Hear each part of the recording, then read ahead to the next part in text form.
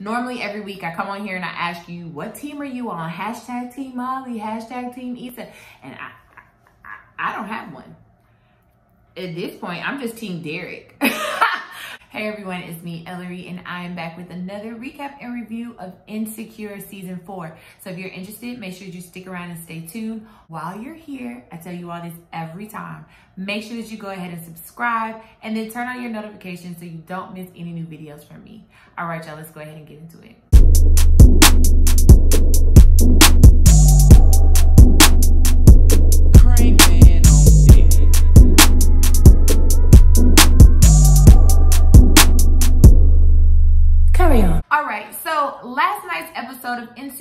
Was the fifth episode of the season, and it was called Low Key Moving On. So we know last week, you know, things kind of were just real shady. Just real shady, okay? Between Issa and Molly. And in this episode, it finally came to a head. But before I get into that, let me go ahead and give you all my quick and dirty recap of last night's episode which by the way, spoil alert. So if you have not watched the episode, be sure to do that and then come back. Let's go ahead and get into the quick and dirty.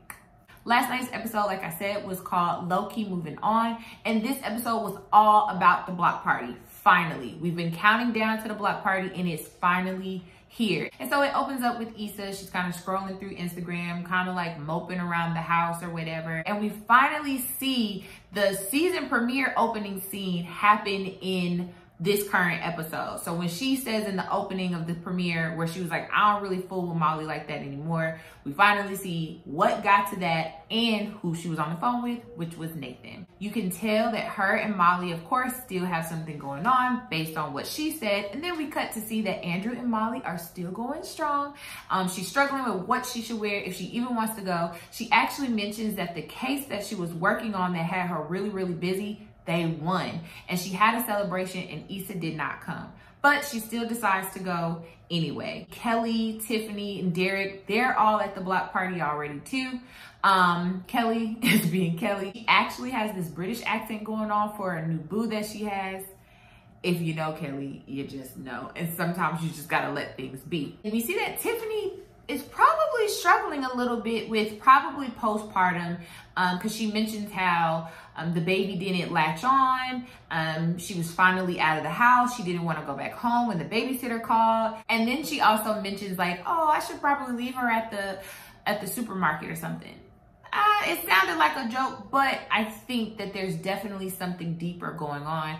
Also, we find out that Lawrence and Condola did break up. It seems as if she really just kind of just left Issa hanging. However, she did help with some interns and she wanted to show up to make sure that the vendors were good. And she says, I didn't really know if I was coming. Um, and then there's almost this moment where there's like this ray of hope with Molly and Issa because the wobble.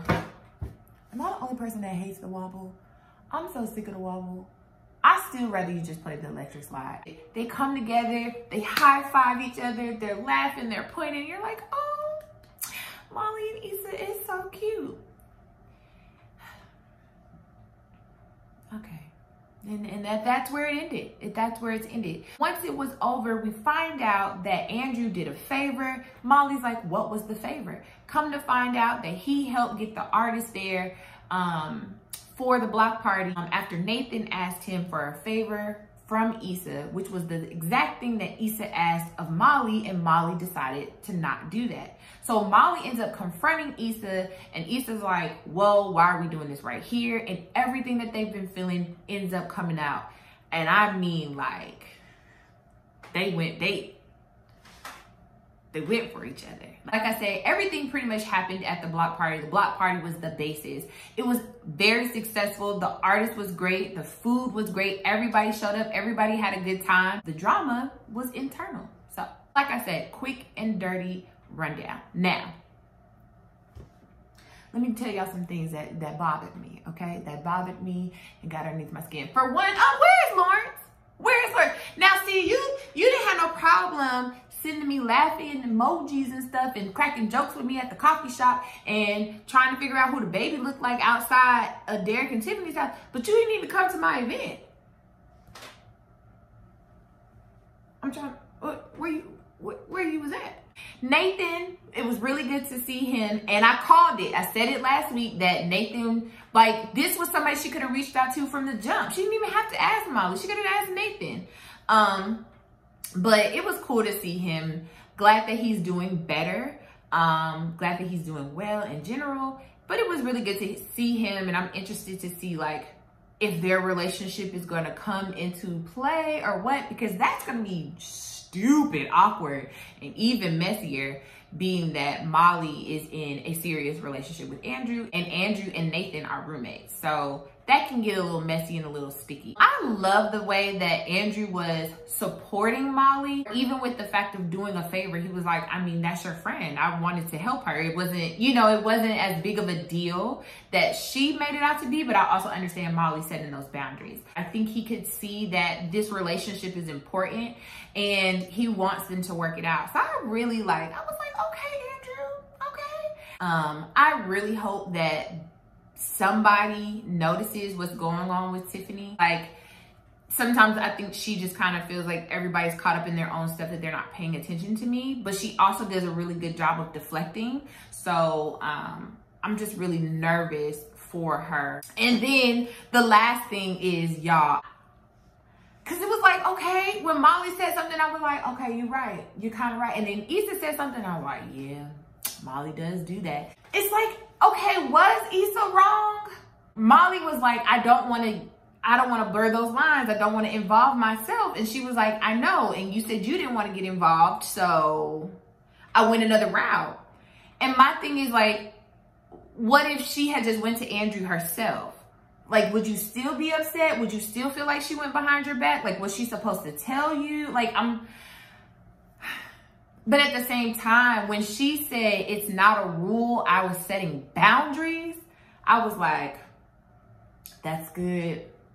That's good therapy right there, Molly. Like, okay, I understand that. Like, you're just setting boundaries around yourself and your relationship. Because, like she said too, she's never even gotten this far to where she's had to prioritize a relationship. And now you're asking me to do a favor? Like, that's but then there was a moment where she was like kind of mad at Andrew because it was like, you know, she and I aren't getting along. And he's like, I mean, yeah, but maybe, maybe in his mind, he thought this would have helped. I, I just, y'all, I don't know. Like, I don't know. And then they start calling each other Bia Bias and, and I don't know. I, I am speechless. That whole scene, I was like, and you know, they both got that, especially Molly. Molly be having that kind of like, she was like, what you gonna do? And I was like, oh snap. Like I wanted to take off my own earrings. I was like, oh God, please don't hit each other. Please don't hit each other. Cause you know, you can't really come back from a physical fight. I felt like they both had very valid points. I, I don't know. I, I, overall, I thought the episode was good. I, I'm gonna leave it up to you all. Let's talk in our comments because we've been talking all week. Leave me some comments below. Let me know your all's thoughts. Are you hashtag Team Molly or hashtag Team Issa? Or are you just hashtag confused, don't want to pick a side because you understand both sides and you just want them to be friends? So basically, you're Team Ellori because that's how I feel. Leave me some thoughts below. Let me know how you all are feeling about the episode. And until next week, I love you and thank you for watching. Bye.